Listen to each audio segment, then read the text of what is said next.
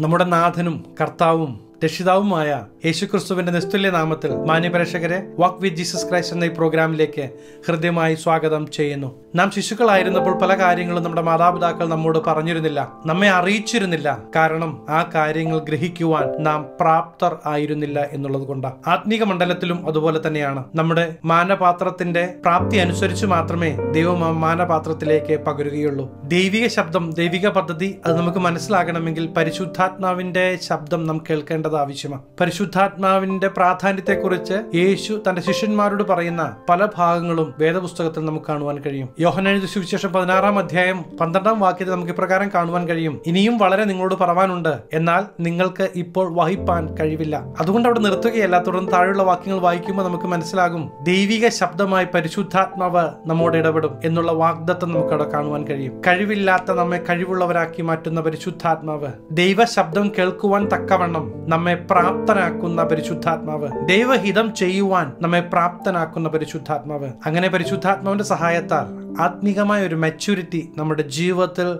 കൈവരുവാനിടയാകും. രണ്ടായിരത്തിൽ പരം വർഷങ്ങൾക്ക് മുമ്പ് ജീവിച്ചിരുന്ന ഒരു വ്യക്തിയെ കുറിച്ചുള്ള അറിവല്ല ഒരു ക്രിസ്തീയ ജീവിതം. മറിച്ച് പരിശുദ്ധാത്മാവിന്റെ സഹായത്താൽ യേശുക്രിസ്തുവിന്റെ സാന്നിധ്യം നമ്മുടെ ദൈനംദിന ജീവിതത്തിൽ ഓരോ നിമിഷവും അനുഭവിച്ച് അറിയുന്നതാണ് യഥാർത്ഥ ക്രിസ്തീയ ജീവിതം. പരിശുദ്ധാത്മാവിനെ കുറിച്ച് പറയുന്നത് അവൻ സ്വയമായി സംസാരിക്കാതെ താൻ കേൾക്കുന്നു സംസാരിക്കുകയും വരുവാനുള്ളത് നിങ്ങൾക്ക് അറിയിച്ചു തരികയും ചെയ്യും. നമ്മുടെ ജീവിതത്തെക്കുറിച്ച് ദൈവിക പദ്ധതികളെക്കുറിച്ച് ദൈവിക വാഗ്ദത്തങ്ങളെക്കുറിച്ച് ഉണർത്തിക്കുക മാത്രമല്ല നമ്മെ ദൈവിക പദ്ധതികൾക്കനുസരിച്ച് വഴി നടത്തുവാനും പരിശുദ്ധാത്മാവ് പര്യാപ്തമാണ് അവകാശി സർവത്തിനും യജമാനെങ്കിലും ശിശു ആയിരിക്കുന്നിടത്തോളം ദാസനേക്കാൾ ഒട്ടും സവിശേഷതയുള്ളവനല്ല എന്ന് ഗലാത്യ ലേഖനത്തിൽ നമുക്ക് കാണുവാൻ കഴിയും. ആത്മീകമായ ശിശുക്കളായിരിക്കുവാനല്ല ആത്മീകമായ ഒരു വളർച്ചയാണ് ദൈവം നമ്മളിലൂടെ ആഗ്രഹിക്കുന്നത്. അങ്ങനെ നീ ഇനി ദാസനല്ല പുത്രനത്രേ.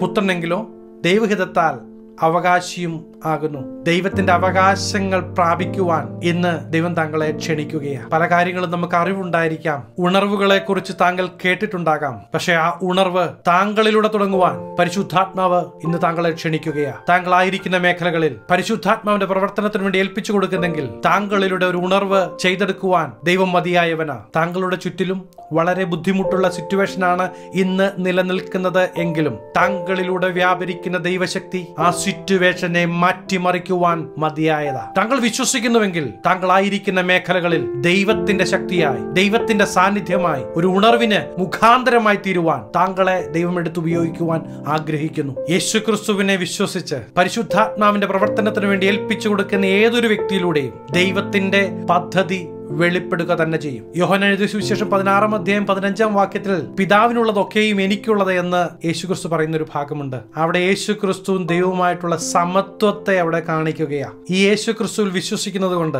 യേശു ക്രിസ്തു താങ്കളുടെ ഹൃദയത്തിന്റെ ഉള്ളിൽ കടന്നു വന്ന് താങ്കളുടെ ജീവിതത്തിന്റെ നിയന്ത്രണത്തെ ഏറ്റെടുക്കുവാൻ മതിയായവനാണ് താങ്കളുടെ ഹൃദയത്തിലേക്ക് കടന്നു വരുന്ന ഈ ദൈവം വിജയാളിയായ ദൈവമാണ് പരാജയ ഭീതി മൂലം താങ്കൾ ഭാരപ്പെടുന്നെങ്കിൽ പരാജയത്തെ വിജയമാക്കി മാറ്റുവാൻ കഴിയുന്ന സർവശക്തൻ താങ്കളുടെ ജീവിതത്തിന്റെ നിയന്ത്രണം ഏറ്റെടുക്കുന്നെങ്കിൽ ഈ ദിവസങ്ങളിൽ താങ്കളുടെ ജീവിതം വിജയത്തിലേക്ക് അടുക്കുന്നത് കാണുവാൻ കഴിയും. ഇമ്പോസിബിൾ എന്ന് കരുതുന്ന മേഖലകൾ ദൈവത്തിന്റെ തൃക്കരങ്ങൾ കൊടുക്കുമ്പോൾ ദൈവത്തിന്റെ പ്രവൃത്തി വെളിപ്പെടുന്നത് താങ്കൾക്ക് അനുഭവിക്കുവാൻ കഴിയും. നമ്മുടെ പിതാവായ യേശു ക്രിസ്തു മാറുമ്പോൾ നമ്മുടെ പിതാവിന്റെ സകലത്തിലും മക്കൾക്ക് അവകാശമുള്ളതുപോലെ നമുക്ക് യേശു ക്രിസ്തുവിന്റെ സകല വിജയത്തിലും അവകാശമുള്ളതാണ് വിജയാളിയായ യേശു ക്രിസ്തുവിന് വേണ്ടി താങ്കളുടെ ജീവിതത്തെ മാറ്റിവെക്കുന്നെങ്കിൽ സമസ്ത മേഖലകളിലും വിജയം നമ്മുടെ അവകാശമാണ്. കാൽവറി ക്രൂശിലൂടെ ദൈവം നമുക്ക് നേടിത്തന്ന വിജയം. ആ വിജയം നമ്മുടെ ജീവിതത്തിൽ കൊണ്ടാടുവാൻ ദൈവം നമ്മളിലൂടെ ആഗ്രഹിക്കുകയാണ്. ഈ യേശു ക്രിസ്തുവിന്റെ പ്രവൃത്തി താങ്കളിലൂടെ വെളിപ്പെടണമെന്ന് താങ്കൾ ആഗ്രഹിക്കുന്നുവോ? ഞാൻ താങ്കൾക്ക് വേണ്ടി പ്രാർത്ഥിക്കുവാൻ ആഗ്രഹിക്കുന്നു. തലകളെ വണക്കം പ്രാർത്ഥിക്കാം. മഹാപരിശുദ്ധനായ ഞങ്ങളുടെ സ്വർഗീയ പിതാവേ എന്നെ ഉപയോഗിക്കണമേ എന്ന് പറഞ്ഞ്